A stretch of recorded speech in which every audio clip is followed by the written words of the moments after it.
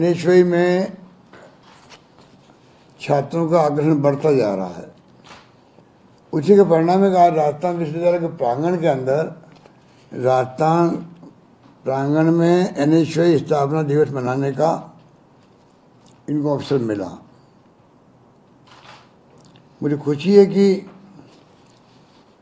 देव देव अमित ने जो Rajiv Gandhi welfare society के माध्यम से एक पहल प्रोग्राम शुरू किया है। ये भी बड़ा क्रांतिकारी कार्यक्रम है, जो पूरे राजस्थान भर के जो वीडियो कॉन्फ्रेंसिंग के माध्यम से आप आईएएस की आरएस की सी टी की, सबकी कोचिंग क्लासेज प्रारंभ करने का जो निश्चय किया है, उसमें आप सफल हो, ये मेरी शुभकामनाएँ हैं। क्योंकि काम शुरू करना एक बात है, पर निभाना बड़ी चुनौती होती है। मुझे उम्मीद है कि एन के अध्यक्ष जी और इनके तमाम पदाधिकारी जो आपके हैं, और महेश जोशी जैसे जो नेता हैं जो खुद अपने आप को जुड़ा महसूस करते हैं एन से, इन सबके सहयोग से ये जो है, देव अमित की पहल जो है वो पूरी तरह कामयाब होगी। हम सबका सहयोग इनके साथ रहेगा।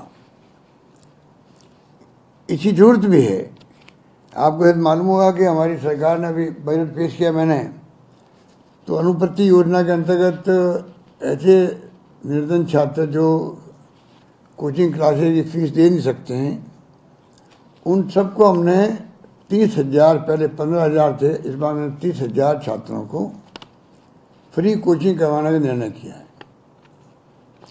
इस प्रकार से आज कोचिंग का जब जमाना आ गया प्रतिस्पर्धा का तो सरकार भी और हमारी संस्थाएँ भी और देव अमित जैसे लोग भी आगे आएँगे तब जाकर के मैं समझता हूँ, हर विद्यार्थी को एक विश्वास रहेगा कि मैं कोई पैसे वाला है, अमीर लोग हैं रखती हैं, उसके बावजूद मुझे अवसर मिल रहा है कोचिंग लेने का भी, अच्छी संस्थाओं में।